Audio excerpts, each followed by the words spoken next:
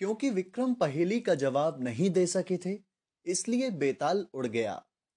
विक्रम उसे फिर से पकड़ने में कामयाब रहे और दोनों हरिश्चंद्रगढ़ की यात्रा पर पुनः चलने लगे। दूसरे पड़ाव पर पहुंचकर बेताल अब विक्रम से सफ़र की दूसरी पहेली पूछ रहा है।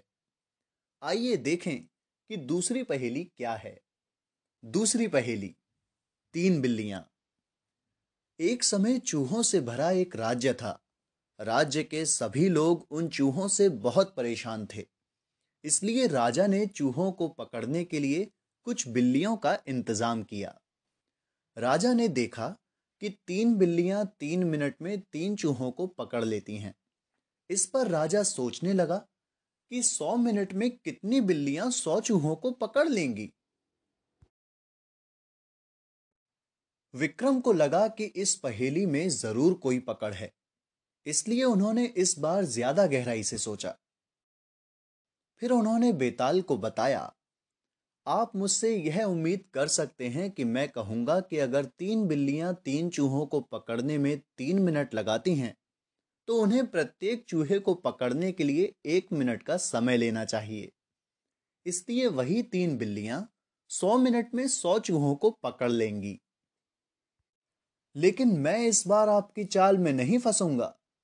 यह दृष्टिकोण मानता है कि सभी तीन बिल्लियाँ अपना ध्यान एक ही चूहे पर तब तक केंद्रित करती हैं, जब तक कि वे उसे एक मिनट में पकड़ ना लें और उसके बाद ही अपना ध्यान दूसरे चूहे की ओर मोड़ें। लेकिन क्या होगा यदि प्रत्येक बिल्ली एक अलग चूहे का पीछा करे और उसे पकड़ने में तीन मिनट का समय लगे? तब भी तीन बिल्लियाँ तीन मिनट में तीन चूहों को पकड़ लेंगी। इस तरह उन्हें छह चूहों को पकड़ने में छह मिनट, नौ चूहों को पकड़ने के लिए नौ मिनट और इसी तरह निन्यानवे चूहों को पकड़ने के लिए निन्यानवे मिनट का समय लगेगा। अब आप सोच रहे होंगे कि उन्हें सौवे चूहे को पकड़ने के लिए कितने मिनट लगेंगे, है ना? अगर उन्हें सौवे चूहे को पकड़ने में पूरे तीन मिनट लगते हैं तो सौ चूहों को पकड़ने में 102 मिनट लगेंगे।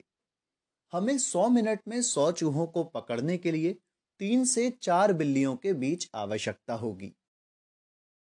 और यह भी संभावना है कि यदि तीनों बिल्लियाँ एक ही चूहे के खिलाफ इकट्ठी हो जाएँ, तो संभावना है कि उन्हें तीन मिनट से भी कम समय लगेगा। लेकिन आपकी पहेली मुझे इसके बारे में कुछ नहीं बताती है। बेताल आपकी पहेली का उत्तर यह है कि यह प्रश्न अस्पष्ट है। और बिना यह जाने कि ये बिल्लियाँ चूहों को कैसे पकड़ती हैं इसका उत्तर नहीं दिया जा सकता है। विक्रम अपने आप से बेहद खुश था और उसे विश्वास था कि इस बार उसका उत्तर सही था। बेताल ने विक्रम को कहा कि उसका उत्तर वास्तव में सही था और उसने उसकी बुद्धि के विषय में जो भी कहानियाँ सुनी थीं, वे वास्तव में सच लग रही थीं। क्योंकि विक्रम को इस बार सही उत्तर मिला, इसलिए दोनों ने हरिश्चंद्रगढ़ की ओर अपनी यात्रा जारी रखी